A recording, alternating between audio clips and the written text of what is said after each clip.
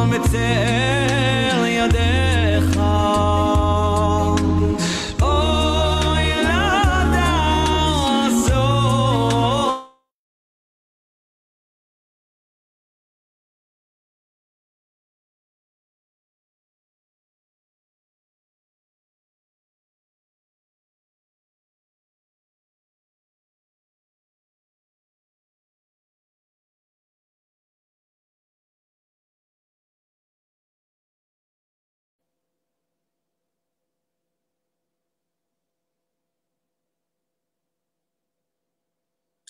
Okay.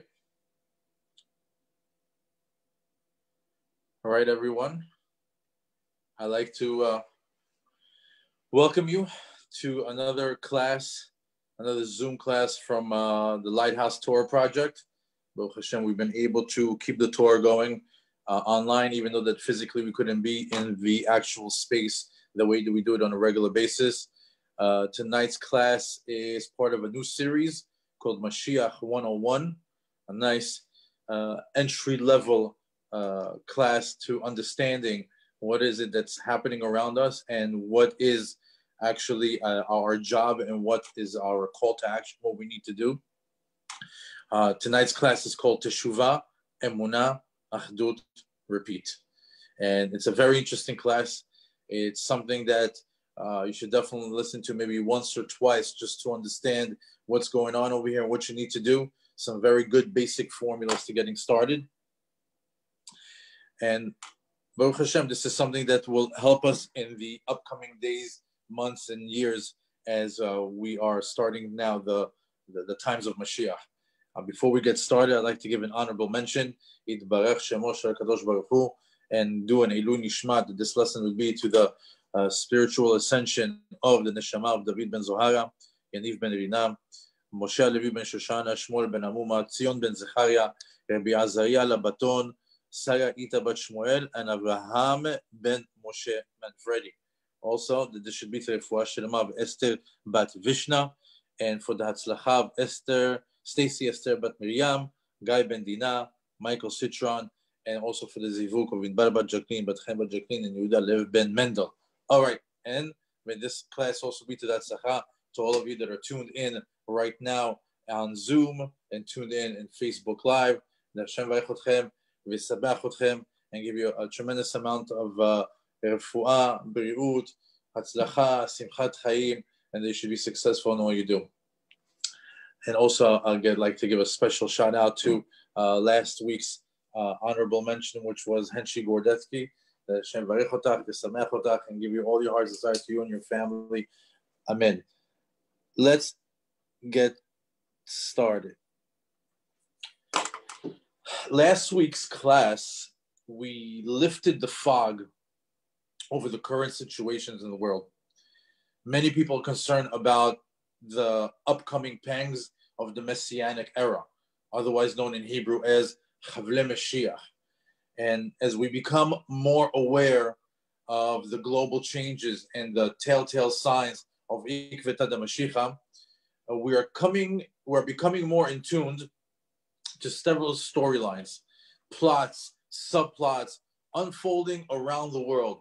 I mean, every single day, Baruch Hashem, if you take a look right now, the truth is starting to come out. I mean, I don't know how good this truth is, but it, there's definitely a new truth coming out. And the old lies are starting to fall apart.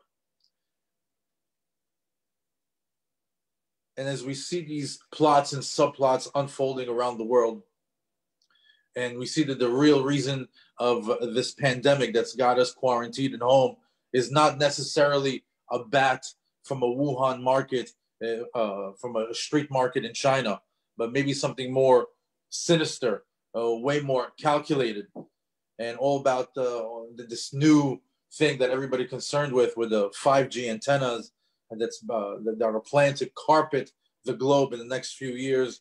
All the talk about secret world organizations planning to make a big push in the upcoming few months or years for global domination and global control.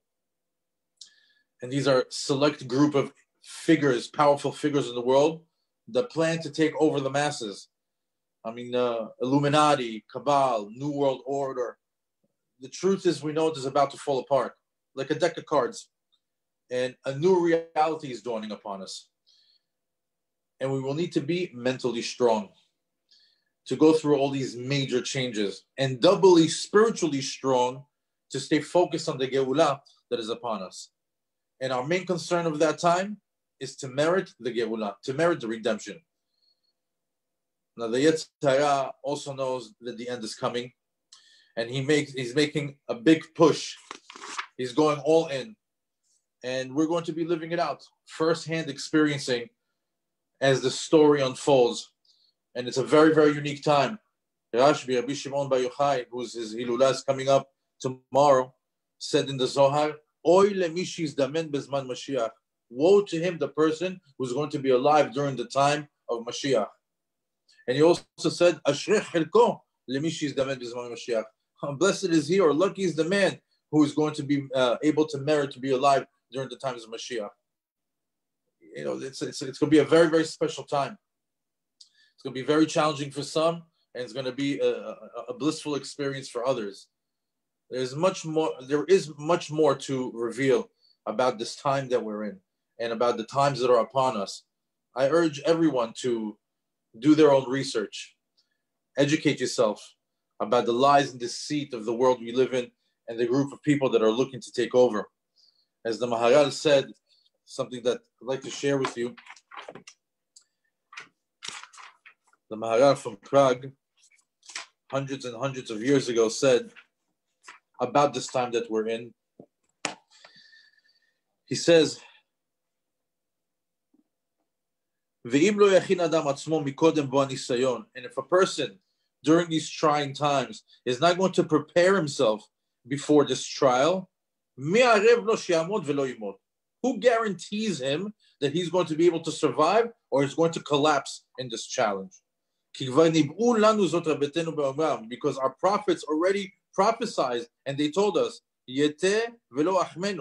The, the, our prophets said, Yete velo achmenu, meaning, Yavo Mashiach, אבל אין אנו רוצים להיות באותו דור. The saying that there's going to be a time when Mashiach is coming, that we're always praying, when is Mashiach coming? When is it going to come? When it's going to come? When, going, when is going to be the time of Mashiach? But we don't want to be alive during that generation. We want Mashiach to come, but we don't want to be alive in that generation. Why? There's going to be such difficult challenges during that time. It's going to be so difficult to live in the time of Mashiach, to be a Jew in the time of Mashiach, as, as the Maharal explains. Furthermore, he says, Now we know that we always have the power to withstand these trials. Because HaKadosh Baruch Hu מביא ניסיון לאדם Hashem never gives a person a challenge that he can't withstand or something that he can't uh, pass. Uh, however, the rabbi is telling us that you have to prepare yourself for it. Even though that these challenges are coming, you can't just let them come as they, uh, uh you know, and just wing it. You have to prepare yourself for these challenges.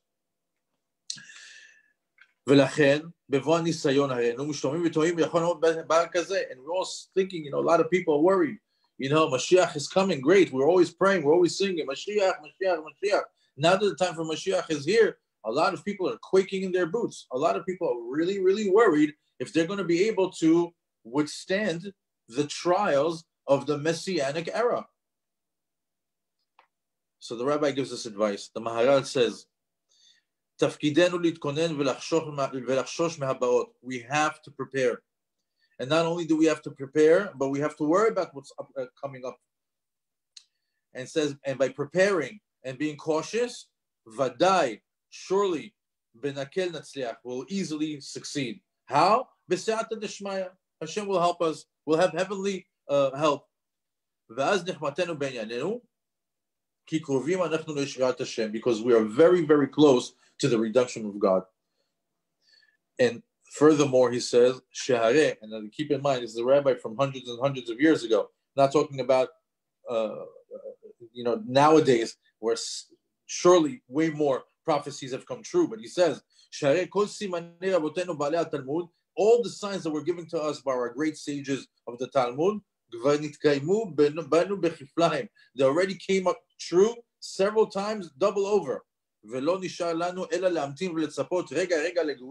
says, the only thing that's left for us that at any given moment, at any moment, we're going to be redeemed. So we see that the rabbi is telling us that the Geulah is upon us. And we have to prepare, and it's going to be a challenge. Now, many people after last week's class contact me personally asking, What do we do? Is there hope? I'm scared. Literally, people reached out to me and they're scared that they hope that they'll be able to sleep, go to sleep after uh, last week's class because it was so eye-opening, or some of the new classes that some of the rabbis are putting out there that are really eye-opening. You know, anybody who's really interested in what's really going on and not having your head in the sand, and you're really interested on, you know, how to merit, how to win the redemption, how to win the Geulah, and you're listening to these classes, uh, shake you up. Even myself, even to, uh, you know, uh, uh, to reveal some of these things to my wife, you have to do it suavely. You have to, you know, ease them into it. These are not easy concepts that you just drop on somebody. These are going to be very trying times, and we have to be very real with ourselves of the cur- of the current situation and of the upcoming cha- uh, changes. However, you should know that as Jews, the storyline of everything that's happening on the planet is going to be directly pointed to us. It's going to pertain to us. The Goyim at the end of the day, the Gentiles at the end of the day, will blame us. They'll target us. They'll attack us. Everything will be very strongly affected anywhere that we are in the world with the time of Mashiach. Meaning, not necessarily just what's happening with us internally as Jews, our connection with God, our teshuvah, our achdut, our, our emunah, but the world itself is going to have an issue with us. And we're going to be very much targeted during that time. And along this journey that we're about to enter, or that we've started already, as many people have uh, already uh, put a stamp on it, that COVID 19 was the start of the big shift into a new reality. So, along this journey, everyone must come to a reset point, both in their regular lives and in their spiritual lives. Everybody has to come to this point. Which point? There, every single Jew has to go into their default setting, or if they don't do it on their own, eventually something in the upcoming future and some of these events that are going to unfold are going to bring everybody to the point of realization that we have no one that we can rely on except for our heavenly Father in the heavens. No one will be able to protect us. We will deep down inside our hearts feel that nobody can save us. Not our bank accounts, not our lawyers, not our doctors, not our uh, mayors, not our presidents, not our army. Nothing, nothing will save you. You will go to get to the point that you're going to say, Hashem, only you can help me. And when you get to that point, you get to that state of mind when each major and that along the way all these different things are going to unfold you're going to get to a breaking point. Now each person is going to get to a different breaking point on their own. There's going to be major life-changing events unfolding and a new group of people will enter that reality and a new group of people will enter that reality. Meaning every time something major happens we're going to scoop up another group of jews that have got to the point and Lanon Mirishan. That's it. I give up. I get I you know what's going on in the world? The world has gone crazy. Who can help us? Only God. And when they enter that reality, that state of mind, that breaking point, and they scream out from the depths of their hearts, Abba, help me. God, save me. No one can help us now, only you. At that point, you're officially ready for Mashiach. At that point, you've reached that uh, that the starting point of your readiness to be in the times of Mashiach. But that's just the beginning. That's just the start. Because the real work to meriting the Geulah actually is after you reach that point is a three-step process. It's actually four. That, but you have to go through this three-step process in order to really, really be ready for redemption. Just like the Maharal said. For you to come out of this time in history, in order for you to advance to the next stage on this planet, into the days of Mashiach, you must go through certain processes. If you got to that point where great, it's a start. At least you understand that nobody can help you, only God. And you should know that the whole world is going to come to that understanding. And the whole world is going to come to that. It's just different events will scoop up new groups of people that eventually will all come to that mindset. Finally, all people will turn to God. Most people, back in the days, people turned to God for praise, for glory, for, for exalting Him. And od milvano, melech melachim. Nowadays, it's going to be that people are going to turn to Him because I, they can't they can't figure it out on their own. They said the world has gone crazy. Only you can save us from what's going on.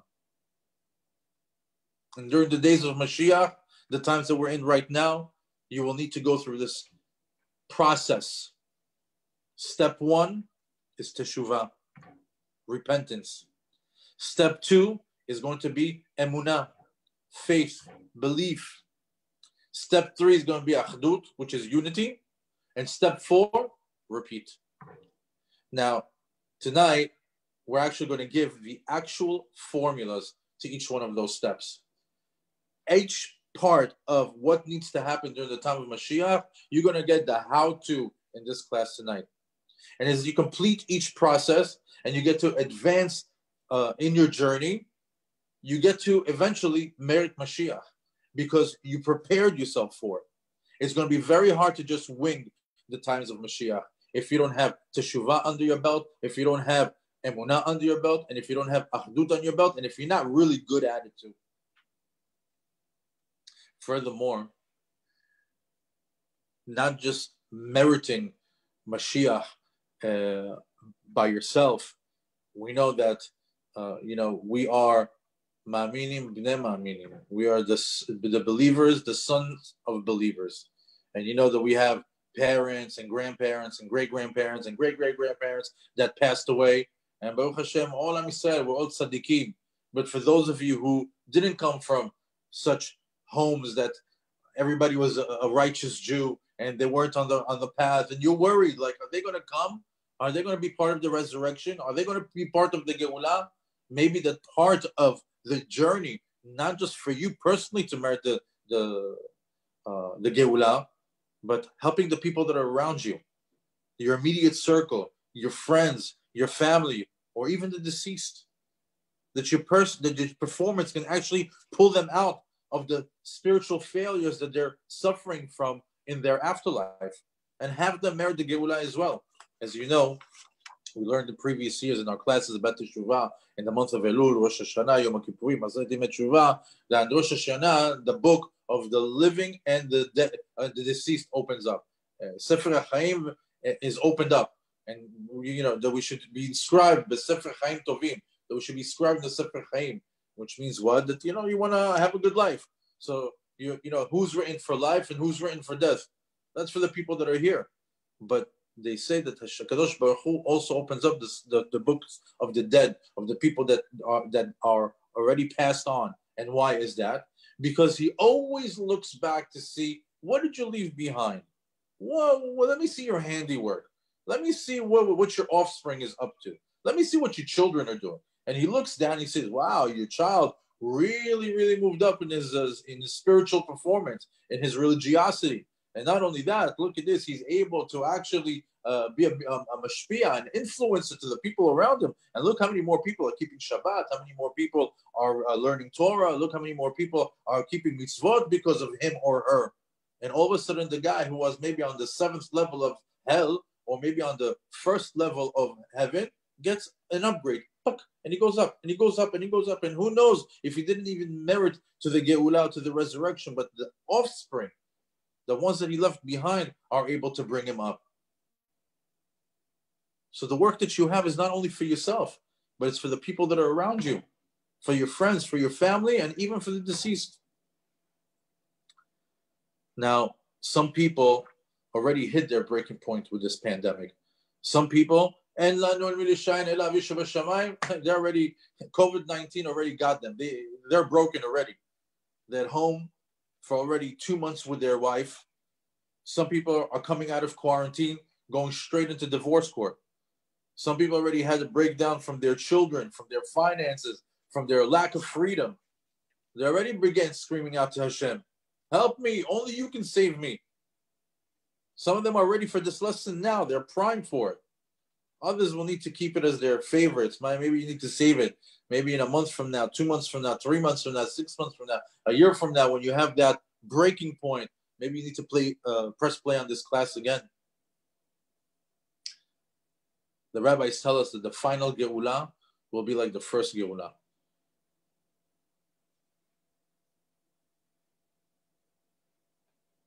The first Geulah happened in Egypt, in Mitzrayim. The Jews were supposed to be there for 400 years.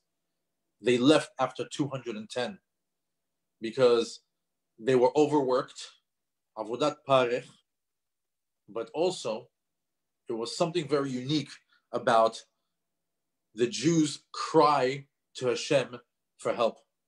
The Pasukim go like uh, go as such. It says that the Jewish people had two different ways of yelling out, screaming out, or praying to God. First pasuk, ויאמר אדוני, ראו ראיתי את עוני עמי אשר במצרים, ואת צעקתם שמעתי מפני נוגסיו, כי ידעתי את מכאוביו. He says, Hashem says, I saw my poor nation that is in Egypt. ואת צעקתם. The tzaka in Hebrew literally translates to a yell, but here it means tzaka is a special type of, of prayer when you just scream out to God, help me. That's a tzaka and who and that he heard their yelling, their their their, their prayer slash yell, that was from their uh, the the, the the the tormentors in Egypt. Because I can feel, I I understand their pain. So we here over here we're introduced to a word called tzaka, tzakatam. It's a special prayer that's with a scream, and it has a lot of power. That type of prayer. Then the second pasuk says, "Vayishma Elohim et nakatam." Hashem heard their nakatam. Nakatam in Hebrew also means prayer, but it's something else. I'll explain it in a second. It says, "Vayisko Elohim et berito," and Hashem remembered His covenant. Et Avraham, Yitzchak, et Yaakov. He remembered what He promised Avraham, what He promised Yitzchak, He promised Yaakov. But what made Hashem remember the forefathers? What made Hashem remember Avraham, Yitzchak, Yaakov that allowed us to to, to reduce the sentence from 400 years to 210. Na'akatam. Na'akatam, na'aka is a different type of prayer. This is when you don't have any more words, where your mind is not working, when you can't form thoughts or ideas, or, or, have some sort of a reasoning, or even form sentences. Rather, na'akatam means it's a, a primal scream, a yell that comes from the depths of your soul meaning it's not even words. It's just like ah, you know, when you just like from the from the inside of your soul, you're just yelling to Hashem. It's considered a prayer, and it says that the the, the Jews got redeemed from Egypt because of tzakatam and naakatam. Those two types of prayers, the yelling and the screaming from torment, and running out of words, no more words from the pain that they're going through. And that shook up the heavens and woke up Hashem's heart and mind and remembered Avraham, Yitzchak, Yaakov in order to redeem them. So when we say that the fir- the final Geula is going to be like the first Geula, we were go- we're going to get to that point as well. Each person eventually will get to that point. Hazal tell, told tell us that because everything that happened then will happen now. The same way that they got to that type of breaking point in their life, we will too. Different events will scoop up different people. Now, once you reach that point, like we said, you're ready for Mashiach. As David HaMelech wrote in Tehillim on the 51st uh, Perek, on the 19th Pasuk, he says, Zivche Elohim, the, if you want to bring an offering to God, Ruach Nishbara, a broken spirit Lev nishbar, a broken heart, v'nitke, someone who's really depressed and heartbroken, Elohim lo tivzeh. Hashem is not going to turn him down. He's going to listen to that one. In other words, I'm just trying to really crystallize the point that we have to get to a point in our regular lives and in our spiritual lives where we are broken to the point that we are genuine and real with Hashem in needing Him. In needing Him, needing His help. No one can help us, only you. And once you get to that point, then you can begin the process. The three step process to winning the Geulah. We'll start off with step number one. Step number one is teshuvah. Keep in mind that teshuvah is a dual pathway. You can do teshuvah behava, or you can do teshuvah. What is the difference? Doing repentance out of love or repentance out of fear. Hazal tell us anyone who does repentance out of love for Kadosh Baruch Hu, if he had a million sins, they get flipped into a million merits. In other words, you're in debt for a million, now you have a million in the bank. That's when you do teshuvah me'ava. If you do teshuvah mir'ah, which seems like in the times of Mashiach, a lot of people might tap into that pathway because out of fear, things are going to scare you into uh, uh, into wanting Hashem to help you. It is what it is. You got to call it for what it is. If you're able to come back to Hashem out of love, gravy, amazing. But if it's going to take something that's going to scare you into it, that's we got a plan for that too. And that plan is called Teshuvah Mir'ah. Teshuvah Mir'ah means if you had a million sins, you do Teshuvah, they get wiped out, clean slate, you're back to zero, start fresh. So that in, that in itself is an introduction, is an amazing concept. That one, Teshuvah Ba'ahava takes your sins and turns them into merits. Teshuvah Mir'ah wipes the slate clean and you start fresh. Now, anyone who's took any of our Teshuvah classes with us, uh, you know, in the times of Elul, Rosh Hashanah, Kippur, really, really have a lot of classes cataloged on YouTube, on Facebook, with the Lighthouse, or Kiruvim Sharon on, on, YouTube, on SoundCloud. I mean, if you really, really want to delve into and dissect your Teshuvah process, just go into all those classes. They are 100% relevant right now, even though it's not Elul, even though it's not Rosh Hashanah, it's 100% relevant because everything that is said in those classes will help you go through this. We'll have, go through this step one of Teshuvah. However, just to give you a quick formula, because like we promised, we're going to give you three formulas over here. Very easy to to to grab onto these concepts to hit the ground running with uh, with this lesson. Is that the formula for teshuvah is A plus B equals C. In the pasuk, it's uh, modeh ve'ozev yerucham. Teshuvah is a three-stepper. Modeh, you admit what you did wrong. Ve'ozev, you leave it behind. You are no longer going to do that sin again. You're forging a new way, a new you, and that activates Yerucham. Hashem will give you mercy, forgiveness.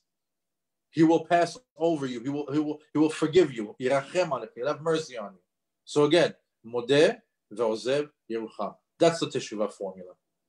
Admit the sin, leave it behind to never go to it, go back to it again. Because should you go back into it, then your teshuvah process gets a little, you know, tied right back again and brings back everything that you let go. Yerucham, you activate the mercy of God. So what do you do? So you sit yourself down. You do some soul searching. You do some spiritual auditing of your service of Hashem. How have you been? How much time of your life have you been giving to God, to Torah, to your religion. You know, this is something that I recommend and I try to do almost every year right before Rosh Hashanah. Take a piece of paper, pros, cons, plus, minus, and I list all the amazing things that I did. All the amazing things that I did through Torah, mitzvot, and ma'asim tovim. I want to judge myself. But I'm also very, very honest with myself on how I sinned that year. and I write down all the cons, all the the minus, all the negative things that I've done. And I, what I like to do is I like to fold a page in half. I tap myself on the shoulder for job well done on that positive column, and then I sit down and I start knocking down all the negatives one by one. I start dealing with it. I start dealing with my negative spiritual performance of the past year and possibly of your entire life. If you've never done it before, then it's going to take you some time. You know, anybody who goes through that spiritual exercise every month of Elul, every holiday, uh, every year, it's free. You come to Yom Kippur, you put in the work. You know, Yom Kippur has a meaning. The day of, uh, you know, the day that you're forgiven. And then on Yom Kippur, the day of atonement, you walk out of there, you're free. Hashem forgive, forgave me. I did the proper teshuvah. I went through the proper teshuvah process. However, if you didn't do that, then you know you're still carrying that baggage with you. And if you haven't done it this year or two years or three years or your entire life, then you got to sit with yourself. That's what Hashem is expecting from us in the teshuvah process, and start snipping away. You're leaving your old self behind, one by one. I don't eat kosher. Snip it. That was the old me. From now on, I eat only kosher. I don't keep Shabbat snip it away. That's the old me. Now I keep Shabbat. And so on and so forth. Acquire a new identity. That Jew that you were and that was completely off the derech, that's the old Jew. And the new Jew, the one that is now post teshuvah, after you've decided to take, take upon yourself a new path, that's the new version of you. And the whole idea is to modeh, to sit down and to admit it.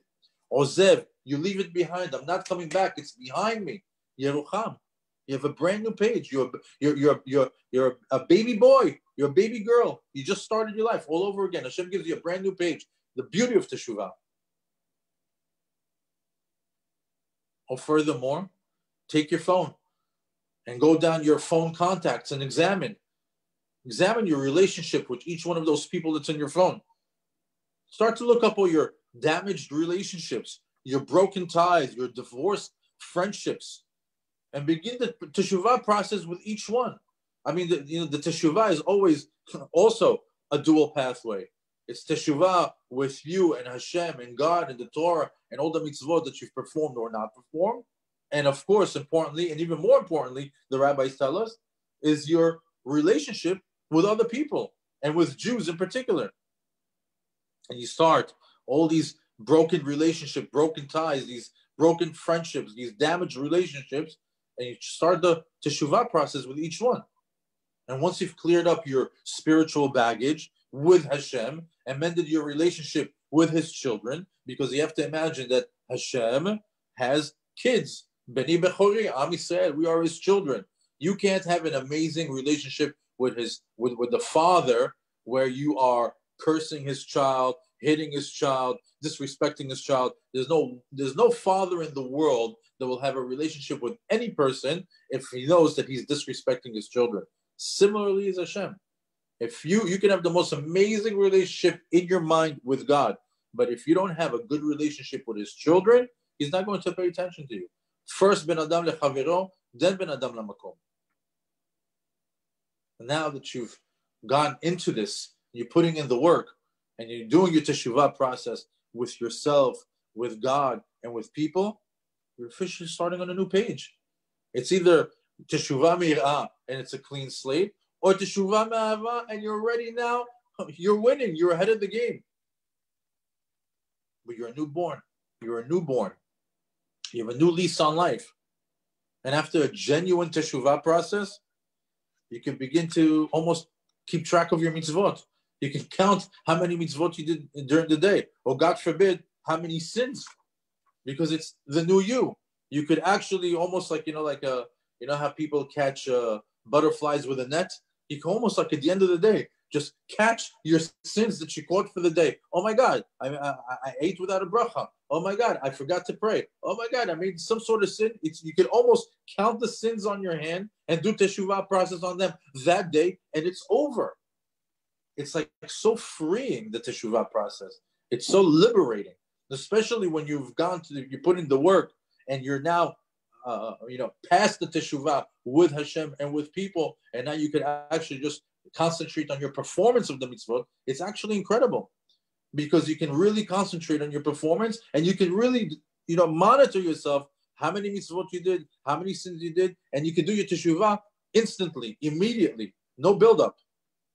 Not of the day, not of the week, not of the month, and not of the years. You're able to make quick teshuvah of that one or two sins a day, or keep track of your midot. And once this part is over, once this teshuvah part is over, you'll experience that something shifted in your soul. That you feel clean, you feel that you're focused, you feel that you're connected. And at this point, you probably have had tons of conversations with God. And this relationship building exercise with Hashem called Teshuvah brought you to a place that is very, very hard to achieve nowadays. Because once you go through this process of Teshuvah and you take yourself into the spiritual, becoming like a spiritual audit of yourself, and you've already cleared up all these skeletons in the closets with people, with God, and with yourself, you're now almost graduating to a new level. And that, that new level is a level of understanding, le- level of feeling the religion and feeling the creator. And over there enters a new level called emunah. Because emunah is a state of mind. It's an understanding. It's a it's a life tool like no other. Should you acquire, should you acquire emunah in your life, you can probably deal with anything, anything that life can dish out. Because emunah means that you've reached an understanding that anything that happens to you in your life is for your own good and is for your own benefit. Hakol letova. It's all for the best. Every single thing that Hashem puts in your life, all the struggles, all the hardships, all the failures, all the successes, all the triumphs are all custom made for you and are designed in order designed for your life journey in order for you to fulfill your ultimate tikkun. That's emunah. That's when you are able to accept everything that Hashem has put in on your plate.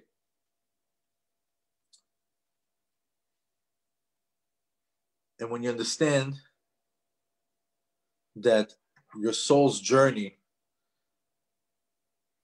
in this world and the successes, failures, or trials, these are all custom made moments in order for you to merit the maximum share in the world to come.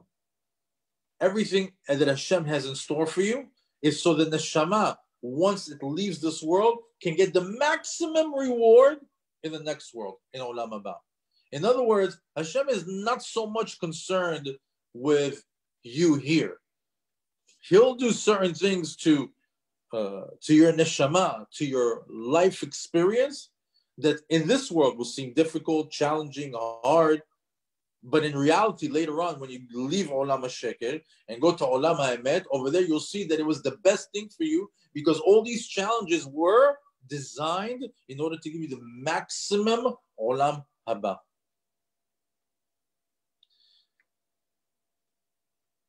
And that involves things that are understood and are connected to your uh, present life experience, but also involves recycled events from previous lifetimes that are now part of this life experience. And you still have to deal with them. You still have to be dealt with, still have to be repaired, still have to be resolved. And most of the times they're random, random people, random series of events, and it doesn't even make sense. And naturally, you want to complain and say, Why? I don't understand. How could this happen? Why is it happening to me? But having emunah is realizing Shakadosh Baruch Hu Tov that there's no mistakes, that everything is custom made. Certain things you're going to understand why they're challenging in your life because of your wife, because of your children, because of your work, because of finance, because of health. Oh, okay, that makes sense. But the things that don't make sense, and they're possibly recycled events from previous lives that you still didn't repair because we have uh, we have certain things that we didn't complete in previous lifetimes so we still they're still on our plate and we're dealing with it and you say to Hashem you know what I have emunah. I don't understand it. I don't understand it, but emunah. It's all for the best. You know why? Because Hakadosh Baruch Hu.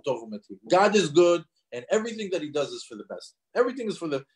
It's all for the good. In Masechet Brachot, in the Gemara, it says, "Chayav adam levarich al ha'ra'ah keshem shum levarich al ha'tova." A person must bless on the good, like he blesses. I'm sorry, must bless on the bad, the same way that he blesses on the good. Just like we said, Baruch Hashem, Hatov Metiv, when something good happens to us, oh, Hatov Metiv, you're good and everything that you do is good. Same thing we said, Baruch Hashem, Dayana Emet. What's Dayana Emet? It's challenging. I don't understand it, but you are the true and just God. Whatever you have in store for me, I accept it. And we say that when a person passes away. Because when a person passes away, a lot of people say, Why? How could it be? How could you do this? How could you take him away from us? But a Jew that says, as soon as you hear about somebody's passing, you accept it so easily, you act, you accept it so quickly. Yeah, of course. Hashem doesn't make any mistakes. The guy's journey is over. His mission in life is over. This was the, exactly the perfect time for him to go away. I have no questions on that. I have no qualms with God's decision. Oh, this guy is living the emunah life. He has emunah. When you're able to accept everything, every challenge that Hashem is going to put in front of your face, every card that you're going to be dealt, regardless of what it is, regardless of the challenge, if it's, it's good, it's easy, successful, or hard or challenging, and you and, and it's going to take a lot of your energy to cope with, and you deal with it and you accept it, you accept your life, you accept what Hashem is in the store for you, you've achieved emunah. You are living the life of emunah.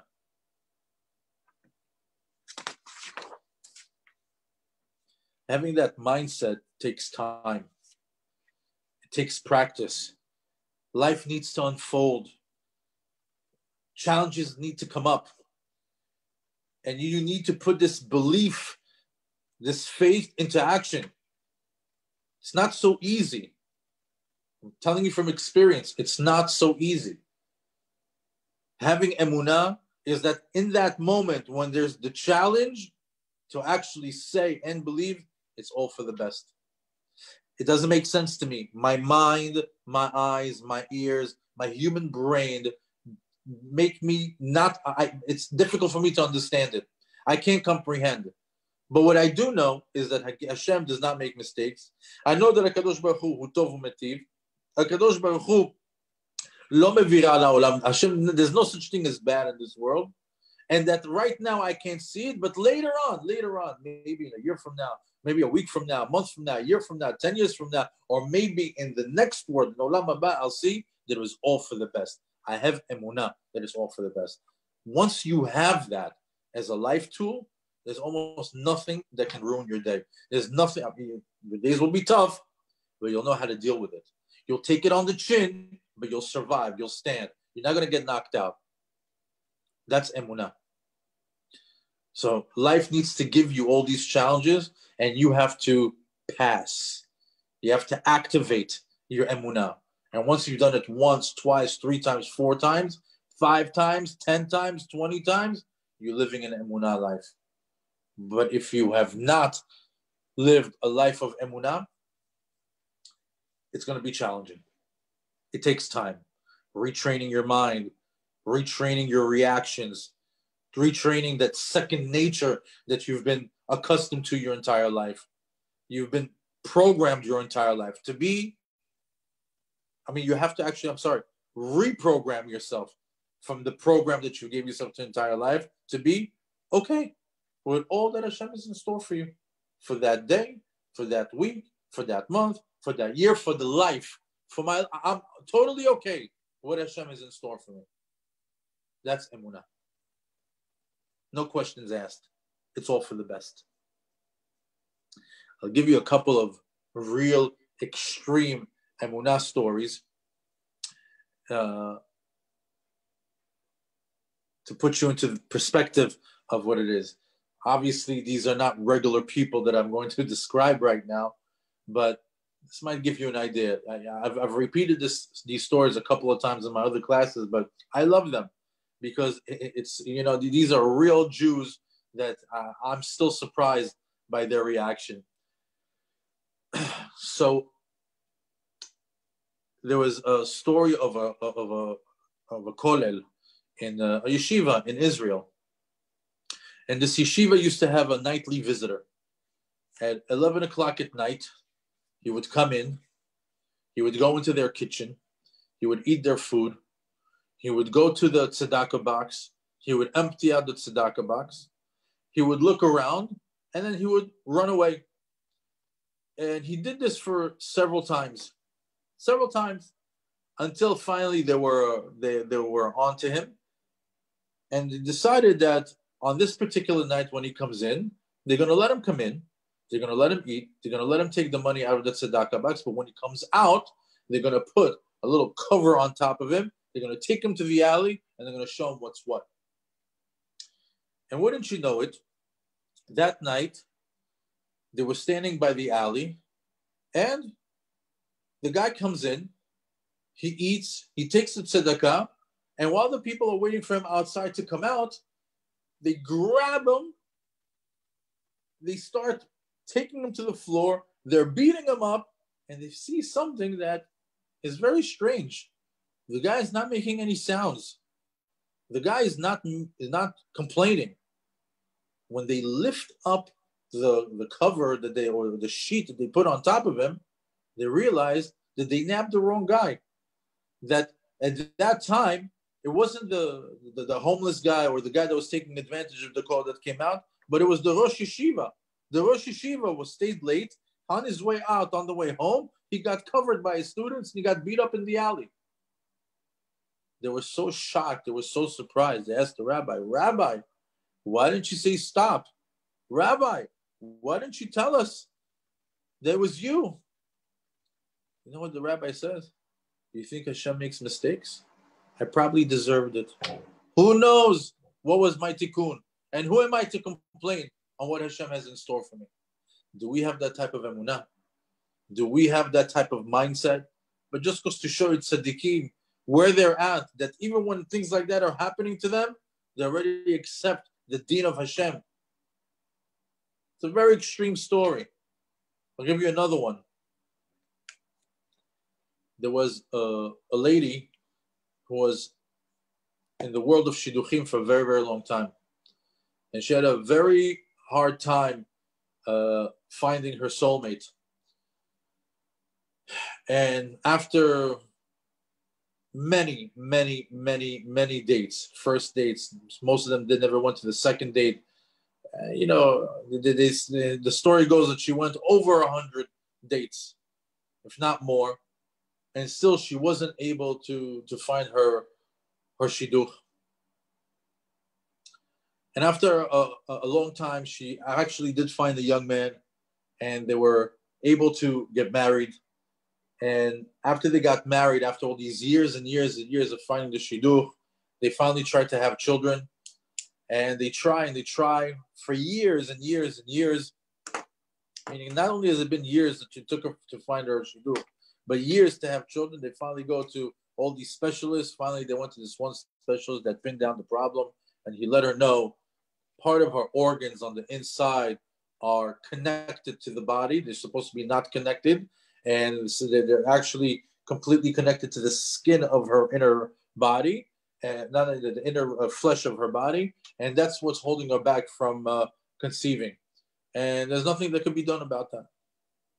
So she was crushed and as she's coming out of the doctor's office to to the to her husband who's sitting in the car across the street, she was so distraught. She wasn't paying attention. She was so crushed that after all this time, that finally after she gets married with all these different tests, that she tried to get uh, pregnant, that she can't have children, that on the way walking to her husband's car, she gets hit by another car and she flies in the air 30 feet in the air and thrown to the ground and broke almost every bone in her body. You could imagine that this lady has been a lot, gone through a lot in her life. And not only did she go through a lot in her life, but it took her some time to come out of rehabilitation, took about a year till she got out of the cast, another year to two years after she was able to rehabilitate. And one day, as she goes to her regular checkups, she gets her different blood work. They ask her to come into the office. And they sit her down and they tell her, We checked your blood the way that we've been doing almost every single visit, and something came up. She says, What came up?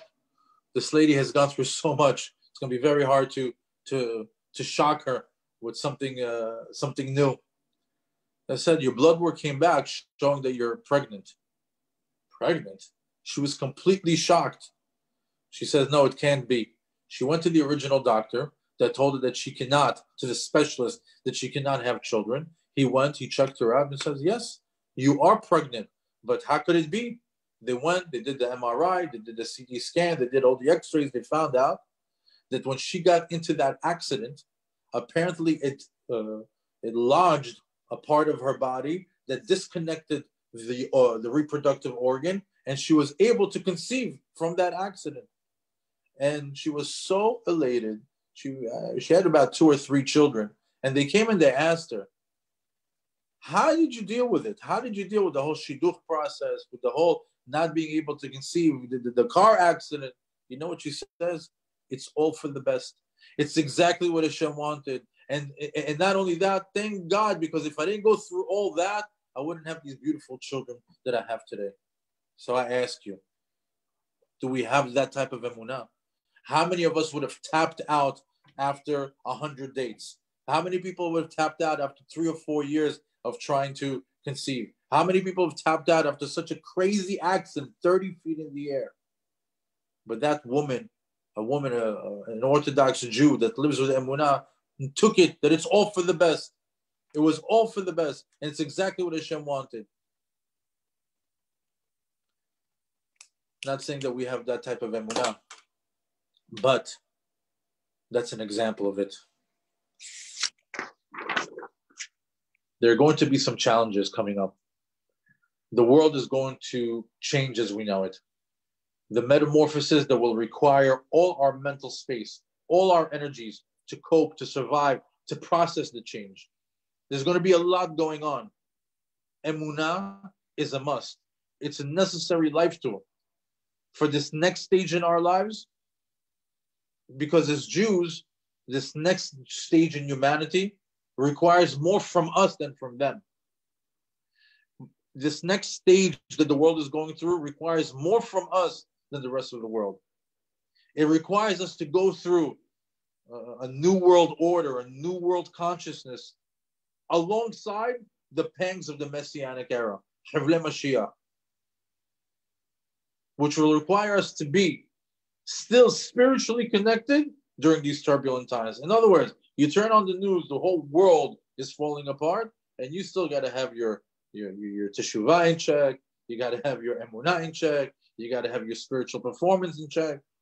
It's going to take a lot. It's going to take a lot from us in order to succeed in the in the time of Mashiach or in the Chevle Mashiach. Not only that, to go through all these challenges, accept the challenges, and know that, know that it's all for the best.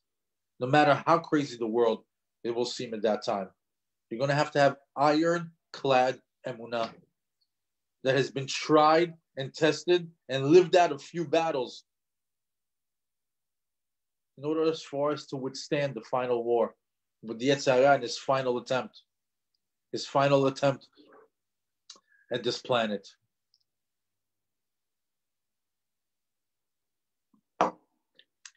So we did so we did teshuvah, we did emunah.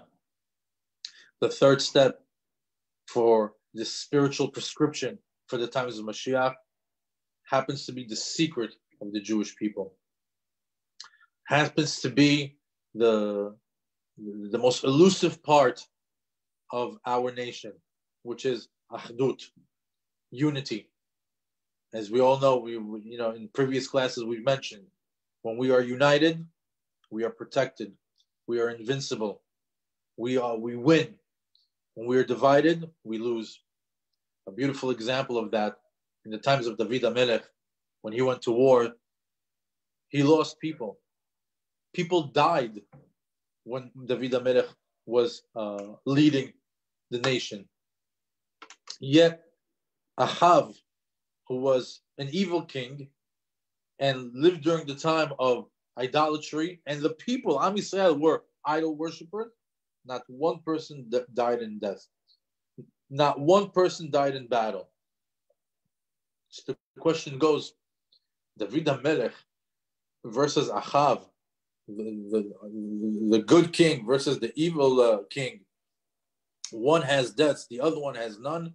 And not only that, the people during the time of Achav were idolaters, uh, idol worshippers, and not one death at war. What's their secret? Chazal tell us unity. Even though that they were idol worshippers, but they had achdut, and their unity is what saved them. Now, to quickly understand unity and its importance, we have to go just a little bit back to understand the entire concept.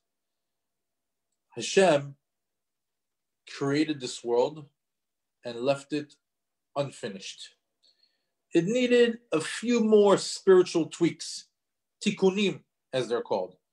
Uh, the, the, Zohar talks about the refach nitzotzot, the 200 and, uh, 278 sparks in the breaking of the vessels in the time of creation. It's a very, uh, very famous Kabbalistic concept that in the, in the beginning of time, in creation, just to simplify it, there's uh, over 200 and close to 280 sparks in the world, the 278 to be exact, that need to be picked up, need to be searched out, picked up, and the job of the, the handyman of the people that are supposed to be doing, doing this tikkunim are the Jewish people. So when Hashem created man, he created him as a co-creator. When it says, let us make a man in our image, in our likeness, is because a man's purpose in this world is to emulate the creator, especially the Jew. Just like Hashem created the world, we're supposed to co-create with the Kadosh Baruch Hu. Just like Hashem created this whole planet that we're in, and and there was a few more things that left over. He left it for us so we can co-create with Him. The Refach Nitzotzot. I think uh, we just actually we described it in detail uh, in the class that we did just last week. Time to get godly of how we emulate the Kadosh Baruch Hu, especially during these times of uh, of the Omer, the times of the Sefirot, of the counting, and the time between uh, Pesach and uh, and uh, and Shavuot, when we do the spiritual refinement and the character refinement in order to emulate God, to, to, to go in His ways, to mimic His ways. However, as humanity has failed in that mission, and only a few have been able to be successful at it. In the end of days, Mashiach will herald in a new era, a new consciousness of, we say it every day in Alenu Leshabeach, Bayomahu on that day, God will be one and his name will be one. So, in other words, if you ever want to understand what does that mean, Bayomahu on that day. What's that day? The day of Mashiach. The day that you know the Yetzer Hara gets shechted, Mashiach is here, and a new day has come, a new era has come, especially for the Jews. Bayomahu, on that day, Hashem will be one, and His name will be one. Even our children learn in kindergarten. Uh, Hashem is here. Hashem is there. Hashem is truly everywhere, right? He's in everything. Hashem is everything and everywhere. Hashem is in nature. Hashem is in the cosmos. Hashem is in the wildlife. Hashem is in humans. Hashem is in spirits. And od milvado. The entire existence is God.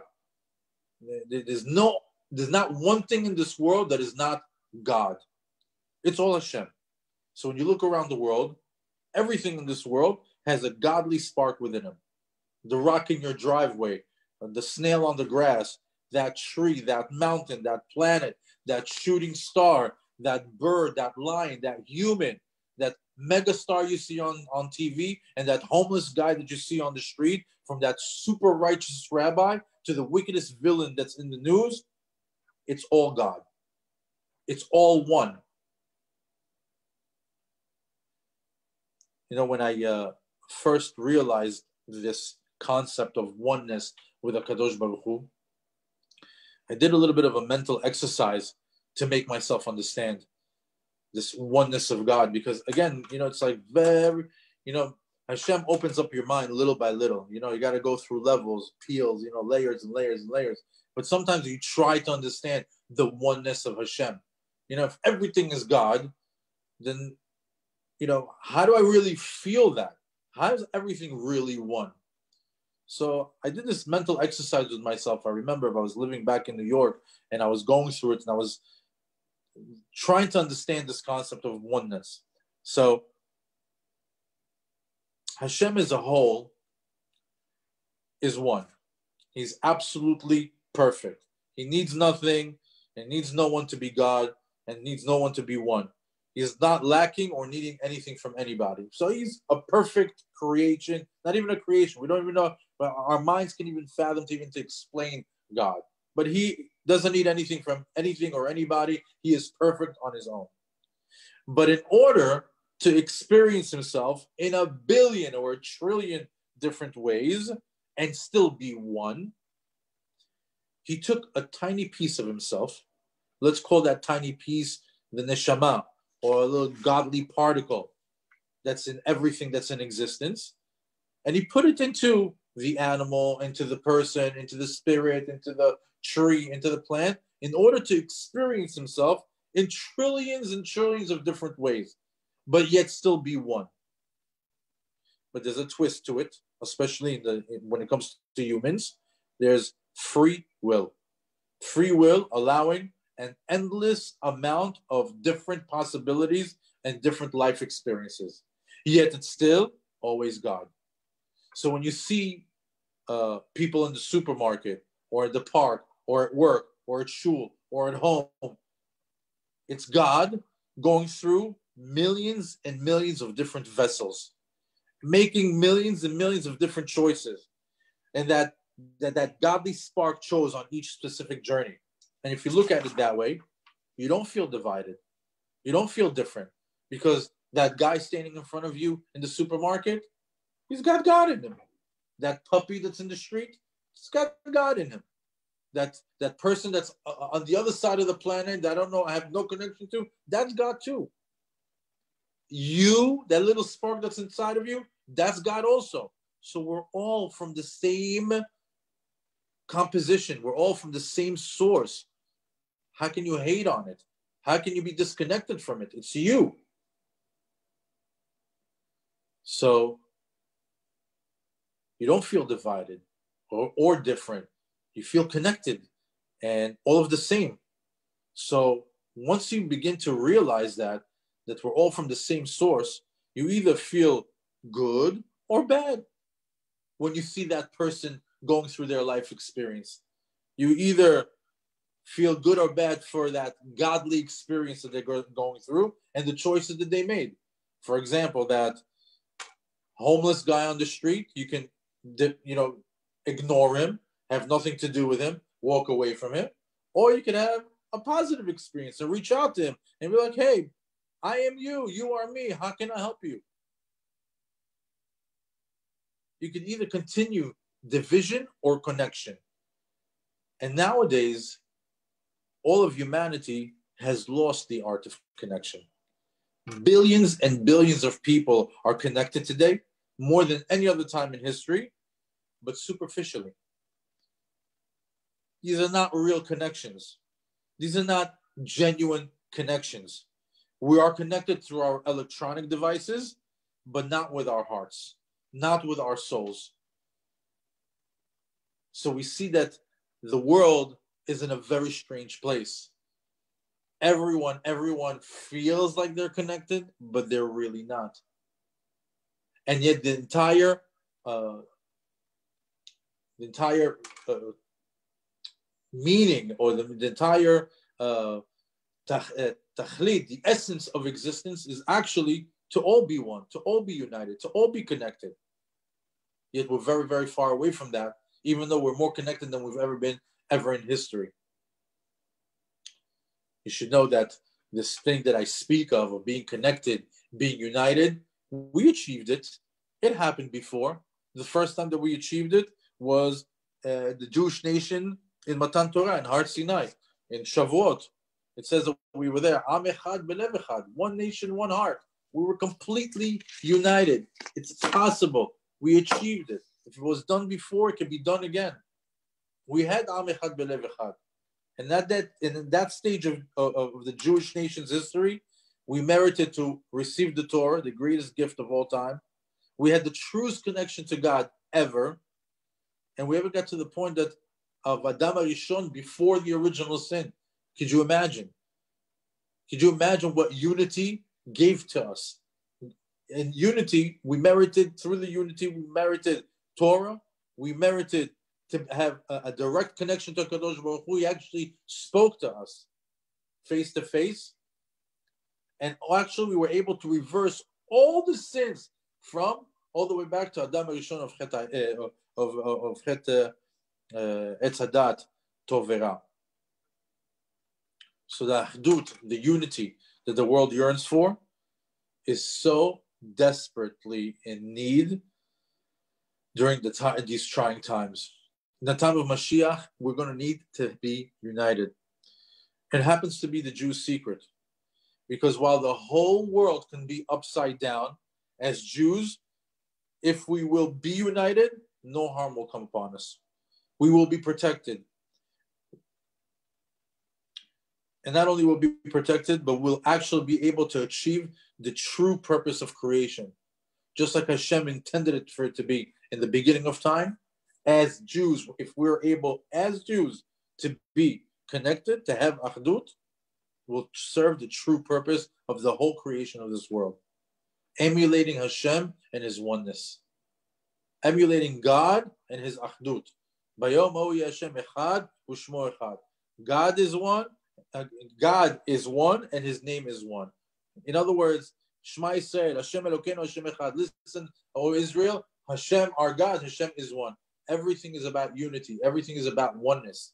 And if we can achieve that as a nation, nothing can harm us. Nothing. Nobody can touch us. I said this also many times in my classes. I'll repeat it again. I remember that one time I saw uh, uh, an imam giving a sermon, their Friday sermon. You know, I was sitting there. I would say maybe maybe a good ten thousand or twenty thousand Arabs all sitting on carpets and all these megaphones, and you're standing there. He says, "When the Jews are united, do not touch them. Their God is going to protect them. We will lose. But when they're divided, fight, fight, fight. When they're divided, we can win. I mean, the guy on Friday afternoon, that's what he's preaching to the Arabs. They know that when we have Ahdut, nobody can touch us. But when we're divided, we lose. That's why the, there's so much politics, so much division. And Am said, big, big challenge for our time right now in Ikritat de Mashiach to be united as a nation. But as the world continues, not just in Am Yisrael, not just in the land of Israel, but all over the world, the division of classes, races, the division of ideology, the tolerance, this division does not help the Geulah because we're right in the midst of it. Ahdut brings protection. Ahdut brings the Geulah speedily and peacefully. So, what's the practical side for Ahdut? In other words, you gave me the formula for Teshuvah. You gave me the formula for Emunah. What's the formula for Ahdut? Well, we have to look past the Sephardic. We have to look past the Ashkenazic, the Chabad, the Breslev, the secular, the affiliated, unaffiliated, we all have to connect to that godly spark in every Jew. That's what's going to bring the Geulah. And it's going to bring the Geulah the way we wish for it, not the way that we fear it. The time of Mashiach is not about who is more religious than who. Hashem, uh, we spoke about it in the previous class. Mashiach is not coming for the ultra religious, and he's not coming for the Reshaim. He's coming for the Benonim. He's coming for the in betweeners. He's coming for those ones that are struggling. They're struggling between their Goyish life and their Jewish life. They're struggling performing Torah mitzvot and ma'asim tovim, and they're struggling because they're emulating a lot of the Goyish ways in their life. They're in between. They're torn. But this is not the time to judge. If the guy is Jewish, if the guy has that godly spark in him, love him for who he is. Unite with him. Help him. Talk to him. See what you could do for one another. Unity.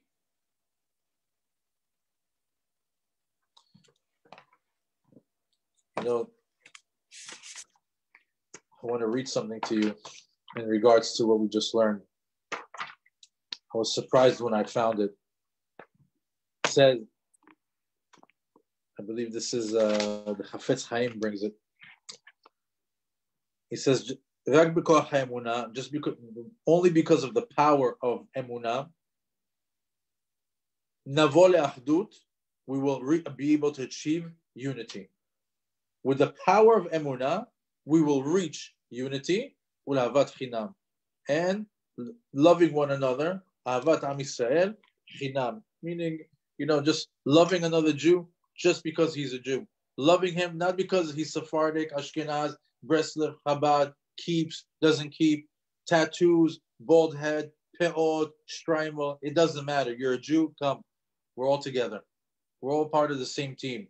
That's the ahdut that we're looking for in the end of days. Look what he says over here. I'll read it off to you. It's very, very beautiful the way that the rabbi put it.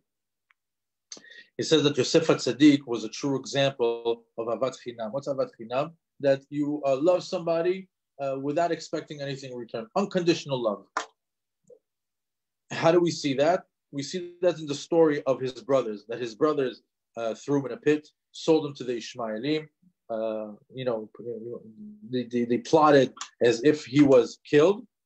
And Basov, in the end, when they came to Egypt to collect all the food, did Yosef seek revenge? Did Yosef yell at them? Did he tell them anything? Did he tell them off? Nothing. Gemalam Yosef Tova. Yosef actually told them that there's, there's there's no bad blood between them. And he's not only that, he never spoke to his father about it the entire time that his that, that Yaakov was with Mitzrayim. So we know when Yaakov came back from uh, came to visit Yosef in Mitzrayim for the 17 years, it says that Yosef in a way also avoided his father. Why? Just so his father won't ask him questions about what happened on that specific day. So he won't speak Lashon Hara about his brothers. And not only that, that he would not cause any sort of uneasiness or discomfort in the family or the family uh, uh, uh relations. says over here. And why did he do that? Why did he not uh, seek revenge on his brothers? And why did he not want to speak to his uh, father about it or complain about it in, any way or even speak about it. It says because of the strength of, enwa, of his emunah. Yosef had a very very strong belief, a very strong faith in a Kadosh Baruch Hu. Why? It says over there, lo atem shalachtem. He says when he first uh, revealed himself to his brothers, and they tried to apologize to him about the fact that they sent him to Egypt, you know what Yosef's answer was? You didn't send me here. You guys didn't send me to Egypt. What are you thinking? Because of you, I'm here. Hashem sent me. It's all from Hashem. It have Yosef, Yosef Tzaddik had emunah that everything that he went through, the pit, being sold as a slave, uh, uh, being a, a, butler to Potiphar, the trial of Potiphar's wife, being in jail for 12 years, 10 plus 2, he never said anything about it. exactly what was supposed to happen. Yosef Tzaddik accepted it for what it was. No. He, he, he, he pinned his entire uh, story according to Ashgacha Pratit from Akadosh Baruch Hu. We see here, the rabbi continues to say, that we have to really, really concentrate on sinat chinam, meaning the way that we hate one another for no good reason, uh, senseless hatred. You know, when we just hate somebody because of their skin color, or because they're not uh, Sephardic, or they're not Ashkenazi, or, or or they're from this sect or from that sect, and each one has a different thing. You know, we we were there's a lot of Jews that are practicing the religion, and we became sectarian. You know, everybody has their their way of worshiping Hashem, but to work together, we don't have that. In other words, we have a lot of Torah in the world, but we don't have a lot of Torah with Ahdut. And that's a big problem because that's not a complete Torah. Torah tells us, it teaches us unity. So to have Torah, not have unity, sort of cancels it out. So it says over here that we have to strengthen ourselves in the sinat chinam. Because of because because of sinat chinam, senseless hatred. That's why the first, uh, the second Bet Hamikdash got destroyed. It's the way that it's written, written in the Gemara that the first Bet Hamikdash was destroyed because of avodah zara, idolatry, ayot, proper relations, or uh, promiscu- uh, promiscuity, dami, murder. But the second Bet Hamikdash, ba'avon sinat chinam, senseless hatred. And they said, even though the, the time of the second Bet Hamikdash, they had Torah and Gemilut Hasadim, they had Torah and they had Gemilut Hasadim between one another. How is it? How is it that they that that uh, that Bet Hamikdash got uh, destroyed? The Gemara says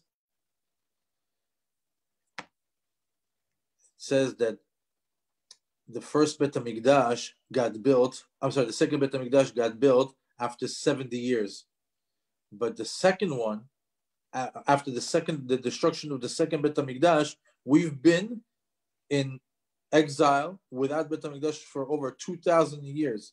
Why? He says because the sinat chinam is worse than avodah zarah, worse than gilui arayot, worse than shfichut damim, and we still haven't gotten it right. In other words, Bet Hamikdash got destroyed because of senseless hatred between one another, and it hasn't gotten built because of that still.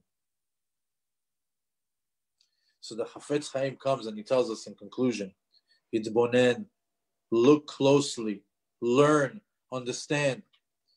If in the power of Sinat Chinam we were able to uh, destroy Bet HaMikdash, and also it's preventing us from building Bet HaMikdash, he says the three things that are going to allow us to build the third Bet HaMikdash is Emunah, Achdut, faith, unity, and he says he also sticks in there Brit, protection of the uh, uh, of the Brit, which is a huge thing and nowadays as well. We will merit to the final redemption.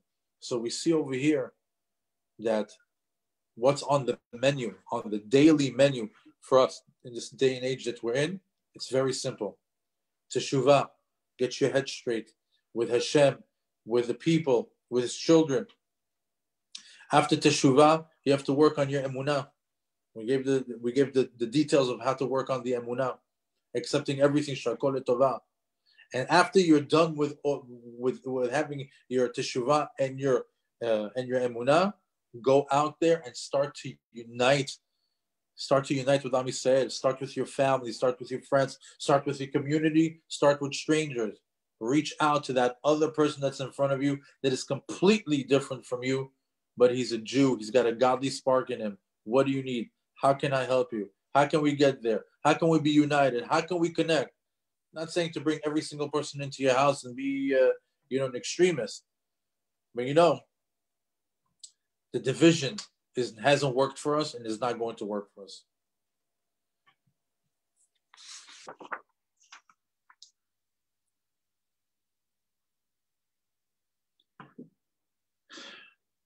Teshuvah, Emunah, Achdut, repeat.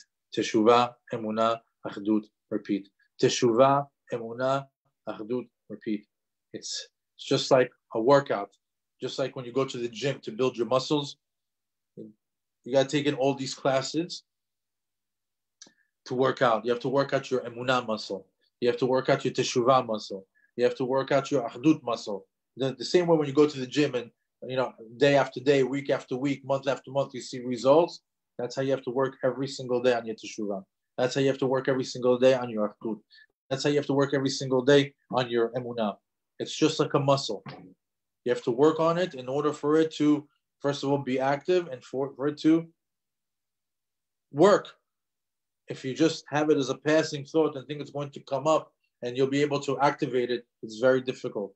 You have to keep it in the front of your mind that you're concentrating on teshuvah, that you're concentrating on having emunah, and you're concentrating on having achdut. It's in the front of your mind to do it every day.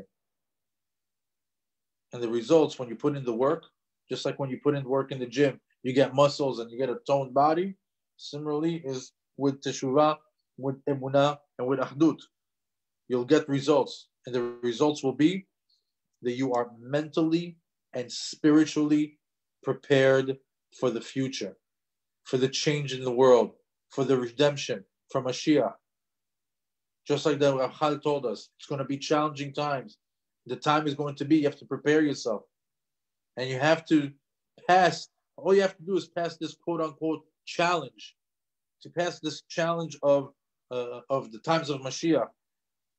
And should you pass this challenge, you merit to a thousand years of bliss, thousand years of peace with no evil inclination, and all our ancestors living together in peace, a Torah life with a third Bet HaMikdash, and Hashem is our true king ruling over us. As it says in the Sefer Tehillim, on Perek uh, 100, the 126th chapter, it says, Az Then that day we're going to be happy. Our, our mouths will be filled with laughter. And our, our tongues will be filled with, with song to Kadosh Baruch Hu. As and then all the Gentiles are going to say, Hashem, Hashem, Hashem did a huge thing with this nation because the final Geulah is going to uh, uh, it's going to eclipse the first Geulah. You know how we still talk about, wow, Hashem's 10 plagues. How did he control bloody waters, the, the, the, the fire and, and, and, and, and ice from the sky, uh, darkness, Makat Bechorot, the splitting of the sea. Oh my God, till today we're talking about it. The final Geulah is going to dwarf the first Geulah. It's going to, we're not even going to talk about it. Great things are coming upon us. However, you have to be ready for it. Bezat Hashem, that we have the mental strength, that we have the desire, and we have the resilience to prepare ourselves for the Geulah, to do the Teshuvah, to build our Emunah, to activate Ahdut. So like that, when everything starts to go haywire around us, we're still going to be focused. We're still going to be on point. We're still going to be able to, to, to surpass this challenge. And not only that, but be able to help all the people around us and have more people merit to us. Even the, the deceased will be able to merit from our performance and not just try to wing the Geulah. Because anyone who's trying to wing the Geulah, what's going to happen is the Yetzer Hara has got your number. He's going to keep you so busy with all these different stories and plots and subplots that are going on in this world. You need to know that that's going on, but you also have your whole uh, spiritual side to you that you have to keep in, mo- in, in, in mind in order to merit the times of Mashiach. Have a great rest of the week and a Shabbat Shalom.